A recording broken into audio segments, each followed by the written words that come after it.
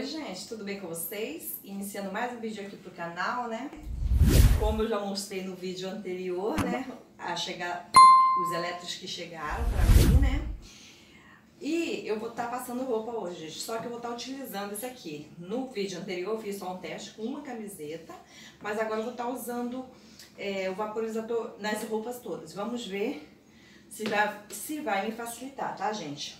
Eu tava lendo aqui esse papelzinho aqui dele e eu achei muito interessante que ele é dois em um, né? Ele, ele desamassa e ele higieniza, higieniza gente. Então, assim, pra higienizar colchão, e olha aqui, você pode passar a roupa com ele assim, tá? É, deitado. E a água não vaza aqui, não. E, pra, e ele leva 30 segundos para começar o aquecimento, para aquecer, tá, gente? Ele é bem rapidinho mesmo. Ele tem um, ele solta bastante vapor, né? Mas mais pra frente, mas mais pra frente vou estar tá falando mais dele aí, tá bom? Então eu quero te convidar a ficar mais esse vídeo aqui comigo, a ficar comigo nesse dia, tá, gente? Então hoje eu vou estar tá iniciando realmente passando roupa, gente, que eu quero tentar, e aqui no quarto não tá cheio, eu quero tentar eliminar essas roupas e guardar, tá bom? Então, você que não é inscrito, eu quero já te convidar, eu deixo aqui já o meu convite, tá? Se inscreva aí no canal, tá, gente? Avalie o vídeo pra mim, deixe mensagens, tá bom? E fica comigo mais esse vídeo. Vamos lá?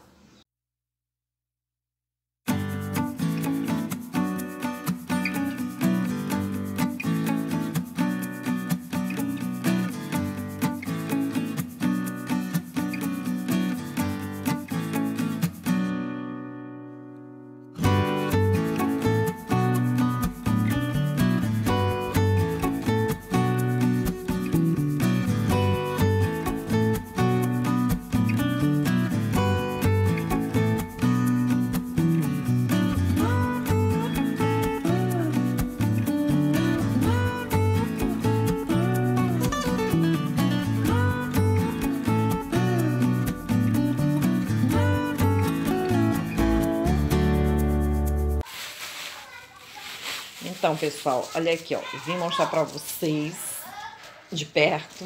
Já passei esse tanto, mais esses aqui tudo, mais esses aqui. E esses aqui é o que falta eu passar. Eu deixei porque eu quero passar ainda hoje à noite, gente. Eu achei bem fácil, assim, você estranha um pouco porque passar com ele assim, mas assim, você não precisa passar ele afastado um pouquinho ele já, facil... ele já desamassa, entendeu? Eu achei que ele desamassou mais rápido que o ferro. Eu acho que a potência dele é maior que um ferro e o vapor dele sai mais, bem mais que um ferro. Tanto que aqui é, vai acabando rápido, entendeu? A água. Mas eu gostei, tá? De utilizar. Tanto é que, gente, olha aqui, vou mostrar pra vocês. Passei isso aqui, tava empilhado até aqui. É porque aqui eu tirei umas camisas que meu filho foi pra academia. Aí eu já tava passando. Eu tirei aqui pra ele ir malhar, né? Essas aqui é o que faltam, né? Eu passar. Mas olha aqui. Gente, ignora o barulho. São as crianças gritando aí no condomínio na rua, né?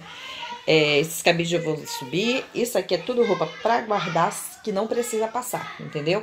Então aqui, gente, tava tudo cheio. Então já desocupou tudo. Isso aqui só é pra eu guardar. Aqui são algumas roupas que preciso dar, fazer algumas costuras, né? Que descosturou, aí eu quero estar tá colocando. Aí eu vou ver se isso eu faço amanhã. Pra estar tá limpando direitinho logo aqui e deixar livre o quartinho todo organizado aqui também, tá bom? Pessoal, outro dia por aqui, né? E fiz essa bandejinha aqui pra levar pro meu filho, né? Que de vez em quando o mimo é bom, né, gente? Quem não gosta de ser mimado, né? Então, preparei aqui um mamãozinho, um pãozinho com man... um pãozinho com manteiga. Já passei manteiga no pão. E ali eu deixei uns biscoitos de sal que ele gosta de comer também com manteiga.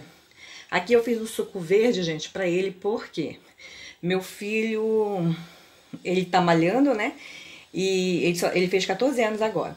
Então ele já parou, tem seis meses de tomar refrigerante, mas ele tem algumas resistências ao suco com com, com os, as fibras, né? Mas esse aqui eu fiz um suco verde de abacaxi, é, hortelã e couve para ele tomar. Mas eu insisto, ele toma, entendeu? É, e agora ele falou que quer parar os biscoitos recheados, doce, na verdade, ele quer parar, né? Mas eu quero estar tá introduzindo isso aos pouquinhos para ele, né? Mas é isso tudo, gente, por vontade própria. Eu queria ter um terço da determinação dele, tá? Aí coloquei aqui um mamãozinho, né, para ele comer. E ele não gosta de leite, né?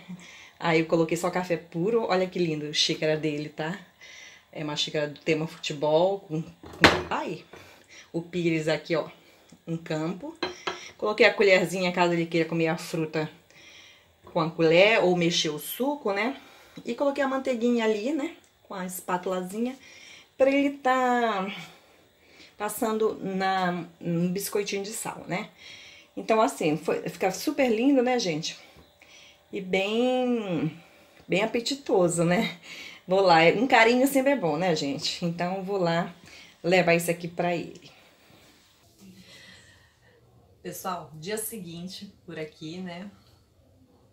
E eu não poderia, o vídeo vai ficar um pouquinho de cada dia, mas eu não poderia deixar de compartilhar com vocês, gente, a receitinha que eu tô querendo fazer, que é de pão francês, né? É a primeira vez que eu vou fazer e eu quero testar minha planetária aí com vocês também, né? Então, vamos lá para a receitinha, gente, vamos lá? Então, pessoal, hoje eu vou estar tá testando aqui a planetária, eu vou estar tá fazendo um pão francês, gente. É isso mesmo, vou tentar fazer aqui em casa, primeira vez que eu faço essa receita. Eu peguei, eu peguei lá do canal Amo Pão, né? Vou tentar reproduzir aqui e vamos ver no que vai dar, né? Vou estar utilizando a primeira vez esse, essa batedeira planetária com esse batedor gancho, que é justamente para massa pesada, tá? Para estar tá sovando a massa. É... Aqui na minha cidade, a gente chama o pão francês de pão de sal, né? E eu sou de Belém, né? Lá em Belém a gente chama pão careca. E na sua cidade, como é que é chamado o pão francês? Pessoal, eu tinha colocado aqui o material, mas a minha meu celular acabou que tava sem espaço na memória, né? Então aqui eu coloquei um pacotinho desse fermento. Eu tô dobrando a receita, tá, gente? Então, um pacotinho desse fermento. É, foram duas medidas dessa que eu coloquei, aqui tem um quarto. Eu usei duas, né? Pra cá, pra essa esponjinha. E quatro colheres de, de sopa, tá, gente? De água em temperatura ambiente. Mexi com a colher aqui, deixei aqui. E a gente vai estar tá cobrindo com um pano úmido, tá? E deixando aqui até ela crescer, tá bom? Deve durar em torno de uns 30 minutinhos. Depois eu volto com vocês pra gente dar, é, prosseguir com a receita, tá bom? Alguns momentos depois. Então, pessoal, tirei aqui. Eu achei que cresceu bem pouquinho a esponja, tá? Mas hoje o tempo tá bem friozinho aqui. E agora eu vou estar tá acrescentando 600 gramas de farinha de trigo, tá? Opa. Quando a gente mexe com massa de pão, não tem jeito, né, gente? É bagunça. É... Aqui eu tô colocando uma colher de, de açúcar, de sopa de açúcar. Coloca pra cá. E uma colher de sal. E duas colheres de manteiga ou margarina, tá? Isso que eu tô dobrando a receita, né? Como já falei pra vocês. Agora é a hora que a gente vai ver se vai dar certo, né? Essa batedeira. Vamos lá ver, né?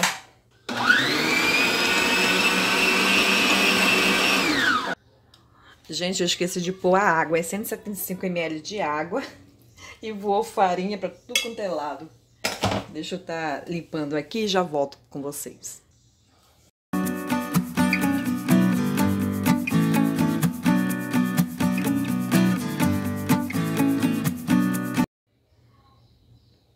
Gente, vou colocar aqui mais uns 175, aí vai dar 350, né? Porque eu tô dobrando a receita, por isso que eu tô achando que a massa tá seca. Mas é isso aí mesmo, né, gente? Vivendo, primeira vez que eu faço. Vamos lá, bater de novo.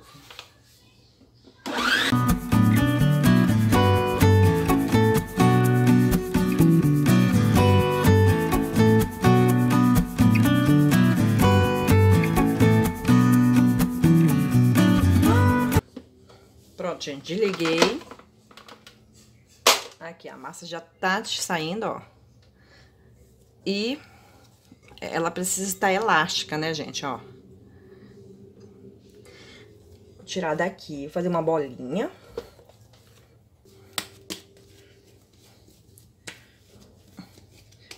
Ó, gente, ela ficou super lisinha, ó. É, detalhe, gente, a, a água tem que ser gelada quando coloca aqui, porque a batedeira ela vai aquecendo. Mas hoje tá frio aqui e a minha massa não tá quente, ela ainda tá friazinha. Vamos deixar agora aqui e cobrir por uns 30 minutos, deixar ela fermentar aqui. Vou cobrir aqui, gente, e vou estar tá levando ali pra dentro, porque aqui tá muito frio e acaba gelando mais o vidro. Mais tarde. Aqui, pessoal, a massa, ela não precisa dobrar ainda de volume, tá? É só um para descansar por causa do processo lá de glúten, essas coisas aí que eu não entendo muito bem. E agora eu vou colocar ela, coloquei ela aqui, coloquei no forno, gente, quente. No forno eu tinha acendido porque tá bem friozinho aqui. Vou colocar aqui para lavar depois. Ah, vou até pesar para ver quantas gramas deu essa massa.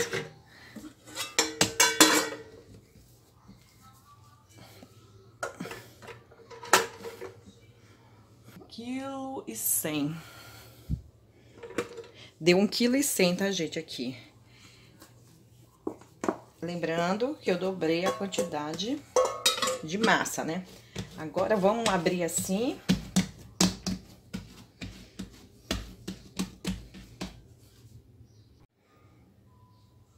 Pessoal, como a massa era em dobro, o que que eu fiz? Dividi aquela bola grande, tá? Em duas. Aí, abri assim, ó.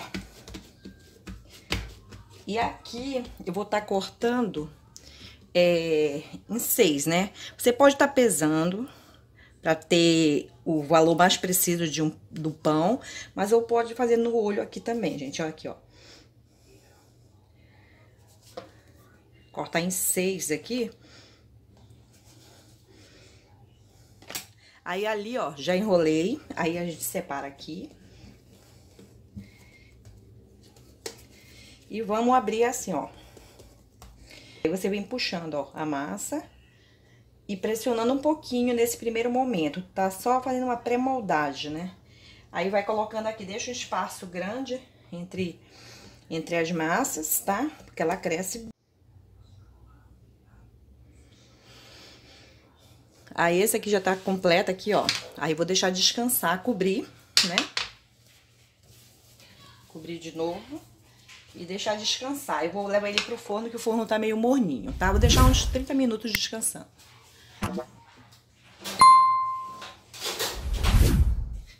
E vou pôr essa outra aqui com esses outros aqui. Então, não precisa colocar farinha, gente, aqui na, na mesa, que ela não tem necessidade.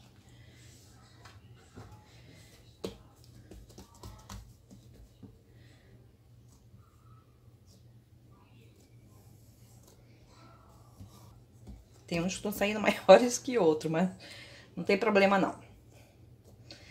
Todos serão comidos.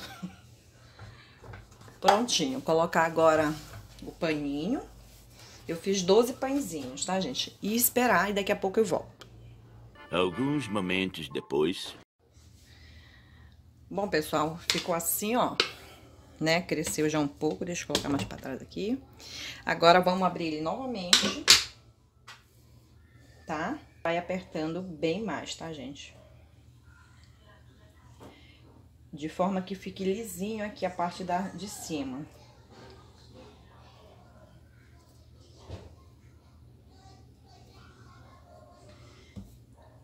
Aí, a gente vai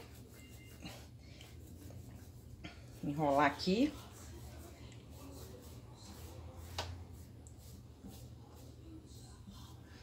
e colocar aqui. Aqui, pessoal, o formato que bonitinho que já ficou. Vamos fazer de novo, ó. Assim. Aí, agora a gente vem apertando mais um pouquinho, pra ele não abrir, gente, deixar sempre lisinha essa parte aqui, ó.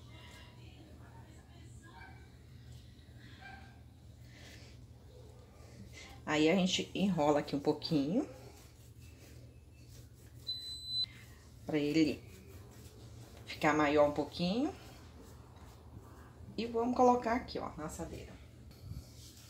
Aqui, gente, já deixei. Uns saíram mais bonitinho que o outro. Enroladinho. Agora vamos deixar agora por quase uma hora para crescer. Agora é para crescer mesmo, tá bom? Uma hora depois. Pessoal, já cresceu aqui. Olha que fofinho que ele tá, gente, ó. Super fofinho. O que eu fiz? Deixei aquecer lá o, o forno. E, gente, tô fervendo uma água para colocar no tabuleiro, numa outra bandeja, assim. Por quê? Porque o, o pão francês ele tem que ter umidade, ele tem que ter vapor dentro do forno. Pra ele poder dar certo, entendeu? Peguei uma faquinha bem amolada para fazer aquele traço aqui. Ó, gente, se não for amolada, não dá muito certo, não. Deixa eu até ver se eu, eu acho uma outra. Deixa eu ver aqui. Pessoal, me desculpe o barulho aí, é a máquina. Eu peguei essa lâmina, não deu certo com a faca, tentei duas vezes. Peguei essa lâmina, ela é nova. É, eu comprei aqui uma caixinha delas, né, desse estilete, e passei um álcool e agora vou estar tá cortando com ela. Por quê? A lâmina tem que estar tá bem afiada, gente, senão ela... Ó, aqui, ó. Senão ela não abre. Aqui abriu, ó, tá vendo? Aí você passa devagar.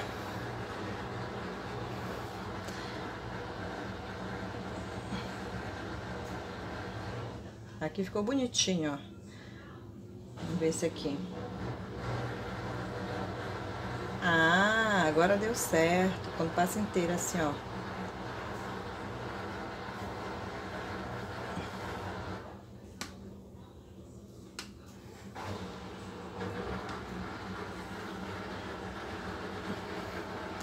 Pronto, gente. Agora sim, ó.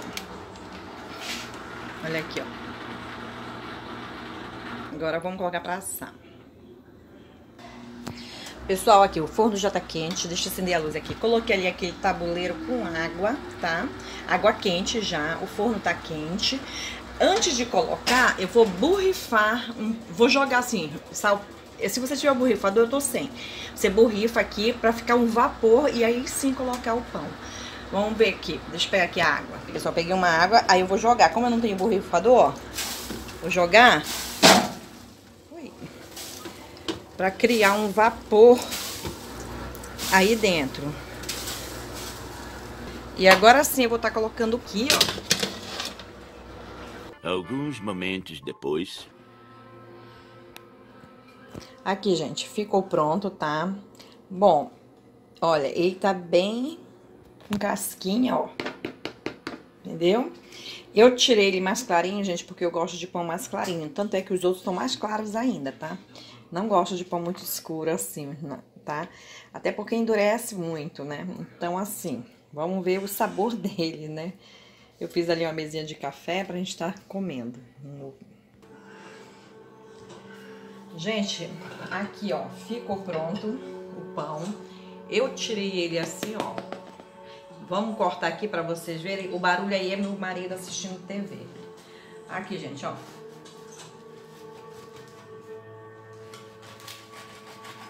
Cortar ele aqui no meio para vocês estarem vendo. Ó, ficou bem fofinho a massa. E vou cortar aqui para vocês estarem ouvindo o barulho. Não sei, você corta aqui na mão mesmo. Aqui, ó. Então tá crocante, né? Tá com a casquinha por fora e a massa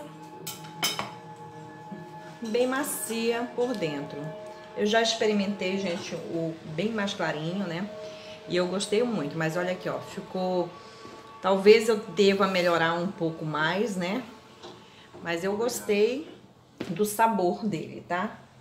Ficou com gostinho de caseiro mesmo, tá, gente? Mas então dá certo. Falta melhorar, mas tá certo. Vou ficando por aqui hoje. Me despedindo com vo de vocês aí com essas imagens desses pães aí. Façam aí, quem fizer, me marque lá no Instagram. É, arroba minha casinha 4, tá bom? E vou lanchar agora com a minha família aqui, tomar um cafezinho, né? Fiz os ovos mexidos também aqui, pra gente estar tá comendo aqui com um pãozinho quentinho, tá bom? Um super beijo, fique com Deus e até a próxima. Tchau!